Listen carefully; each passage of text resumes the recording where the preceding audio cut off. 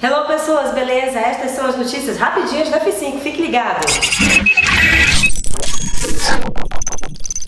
Pessoal, agora em outubro já, nossa conta de energia fica mais cara. A Agência Nacional de Energia Elétrica divulgou que a partir desse mês é bandeira vermelha, ou seja, taxa de R$ 3,50 a cada 100 kW consumido.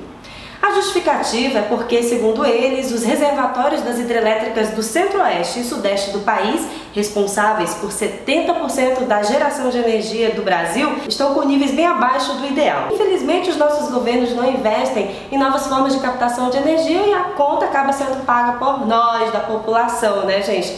A dica é essa, vamos economizar até o final do ano aí porque o negócio tá feio.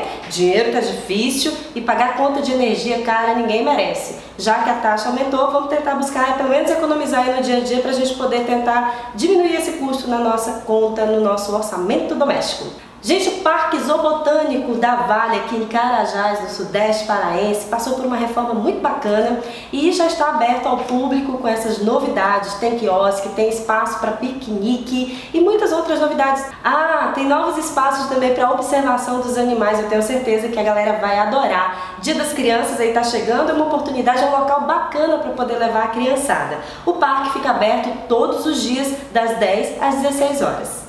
Estamos no mês de outubro e todo ano nessa data é comemorado o Outubro Rosa, um movimento a nível de mundo que desperta as mulheres para buscar a prevenção do câncer de mama. Então você que é mulher, aproveite, procure uma unidade de saúde, faça sua consulta regularmente e não se deixe vencer pelo medo. Prevenir é melhor do que remediar, todo mundo sabe disso faça o autoexame da mama, busque um profissional de saúde, busque informações, porque com informações a gente pode se antecipar a algum tipo de doença.